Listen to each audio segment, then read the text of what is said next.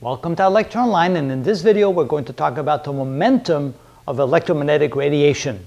And here we're probably talking about something very strange because remember the equation for momentum. Momentum is equal to the mass times the velocity of an object. So for example a car that has a certain mass of 1,000 kilograms moving at 20 meters per second. We multiply the two we get momentum. But electromagnetic radiation does not have any mass so how can that have momentum? Well, there's another way of looking at momentum. We can also say that the change in momentum or impulse, and I'll write impulse underneath it because we don't want to confuse the I with the I for intensity. So the impulse is known as the change in momentum, which is equal to the force applied by the amount of time that it takes that that force is being applied. So when a certain force is applied at an object, that object will then impart momentum onto the object, and therefore we can see that sunlight can, uh, can apply pressure to an object, and pressure, of course, means force per unit area, which means if electromagnetic radiation can push against an object, it can impart momentum onto the object. And that's where we're going to try and come up with an equation that actually allows us to calculate the momentum of electromagnetic radiation.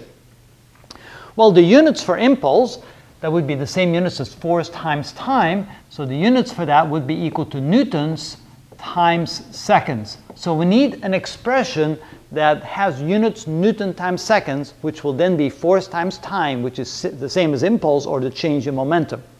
So remember the units for intensity. Intensity was equal to uh, power divided by area.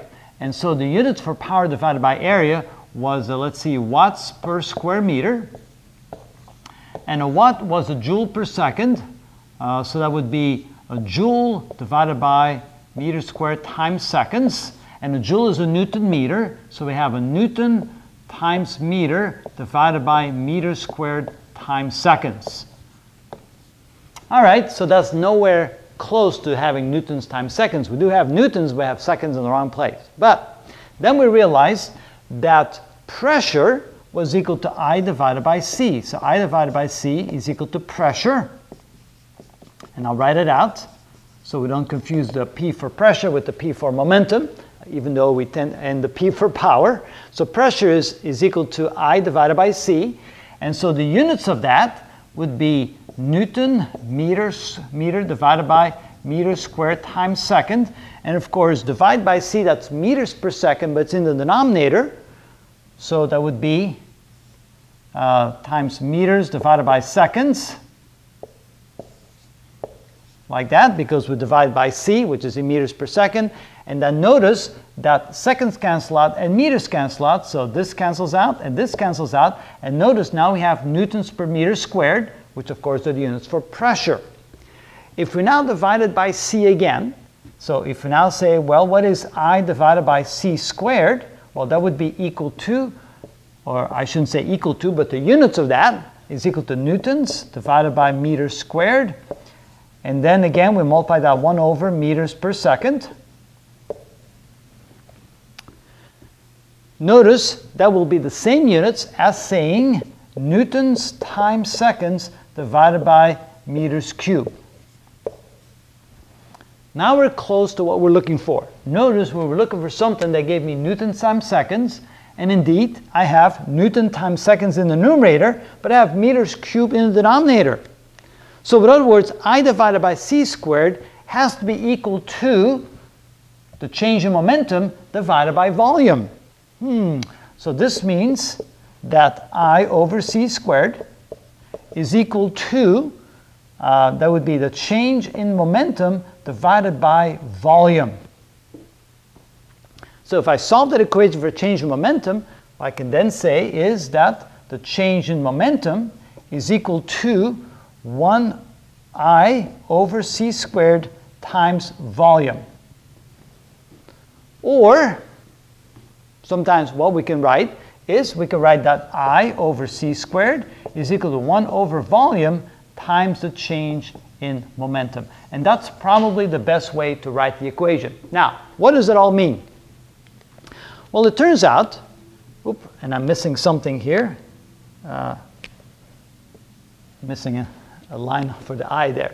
So what that means is I have an expression. I can take the intensity, which is basically the magnitude of the Poynting vector, divided by c squared, that is equal to the change in momentum provided to us by a certain volume of electromagnetic radiation. So, if I take a certain amount of volume, let's say I have a beam of light, let's say the beam of light has a cross-sectional area of one square meter, and let's say that I make the beam long enough so that the length of the beam is equal to the time that it takes for light or electromagnetic radiation to travel one second. So in one second, a beam of light travels 3 times 10 to the 8 meters per second. So this would be 3 times 10 to the 8 meters per uh, meters per second. That would be, the length would be meters. So that would be the length of the beam. The cross-section area would be A, which means that the volume of the beam, the volume, would be equal to the area times the length, which is equal to 1 meter squared times 3 times 10 to the 8 meters. And so it would be 3 times 10 to the 8 meters cubed. So what we're saying here is that if we take the volume of electromagnetic radiation equal to a, the volume of a beam that is equal that is 300,000 kilometers long and one square meter in, in cross-sectional area, and we divide that into the momentum, change of momentum, that is equal to I over c squared. Or, what we can say is that the momentum contained in this is equal to I divided by c squared times the volume. So that's the way I wrote it over here. So let me box this in, in red here. So here you can say that the amount of momentum contained within this beam of light, I take the volume and I multiply times the intensity and divide by c squared, that gives me the momentum of that light beam. So let's calculate what it would be in that particular case, and I don't have a lot of room here, so let me come over here and use a different color. So what we're going to do here is calculate the momentum in this beam of light that is 300,000 kilometers long, 3 times 10 to the 8 meters, has a cross-sectional area of 1 square meter, and we want to know how much momentum is contained within that light beam. So the amount of momentum, delta P, is equal to I divided by c squared times the volume. So in this case, that would be 1361 watts per square meter. That is the intensity of sunlight when it reaches the Earth, divided by 3 times 10 to the 8 meters per second. And we square that, so that's divided by c squared, times the volume of that beam. And the volume would be 3 times 10 to the 8 meters cubed for the volume. And notice then, then we get the same numerical value as I divided by C because the number for volume and the number for C is going to be the same in that case. And with a calculator, we now get 1361 divided by 3e to the 8, and we get 7.35 so this is equal to 7.35 times 10 to the minus 6.